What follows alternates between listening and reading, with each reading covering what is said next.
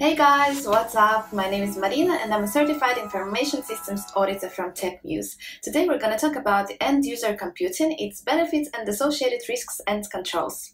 Surprisingly, there's not much information I found on the internet about this topic, so I'm gonna share with you today everything I learned during my degree studies as well as from my personal working experience. So without further ado, let's go. So what is end-user computing?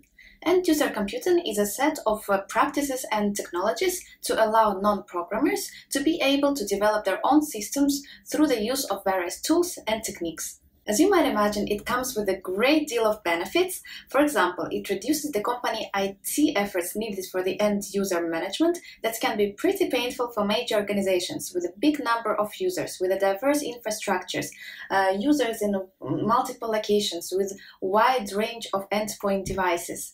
So in addition, these days of smart working with more and more employees uh, using their personal devices, this issue is more evident than ever. Let's use a Microsoft Access example for better understanding. Microsoft Access is a database management system and is a standard and most popular end-user computing solution along with Microsoft Excel that allows users to import datasets from other applications such as SAP, customize the view of this dataset, and create their own reports.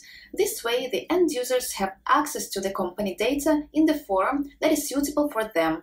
They can be using their personal laptop. It does not represent a great risk to the organization as long as users access the company resources centrally and securely, for example, through the virtual desktop or a desktop as a service. Now, I've got a question for you. Can you think of another example of an end user computing application or system? Let me know in the comments. So in a traditional setup, company provides hardware, software, network, data to the users as well as IT resources for supporting users and related processes such as asset management, user management, backup, disaster recovery, incident management, and so on. In the end user computing setup, let's consider that majority of users are working from home, using their own network, their own laptops and applications, while users still have access to company data through, for example, a virtual desktop, the computing occurs at the endpoint side and allows companies to reduce their direct and indirect costs.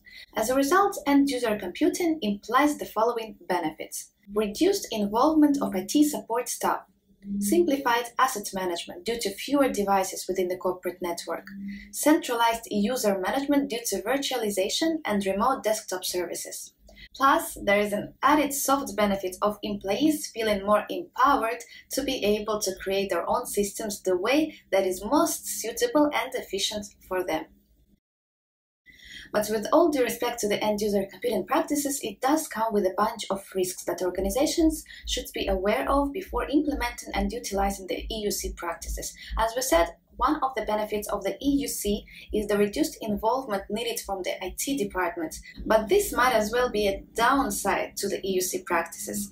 Lack of IT involvement opens up a range of risks because the applications developed by the end users may not be covered by, by the corporate policies and standard software development methodologies, Thus, user-developed systems may be missing out on such aspects as proper authorization, authentication, audit logging, encryption, change management, and release management, correct processing that impacts the data reliability, security, backup and disaster recovery procedures, and so on.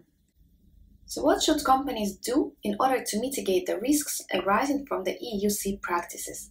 First of all, a company should develop and enforce an end-user computing policy. A company should also have an inventory of all end-user computing applications and determine a criticality for every application as part of the backup and recovery procedures.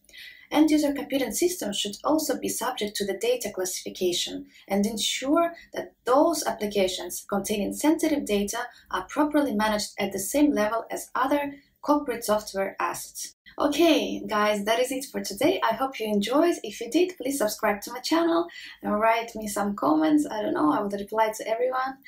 Um, I wish you all a good day and see you in the next video.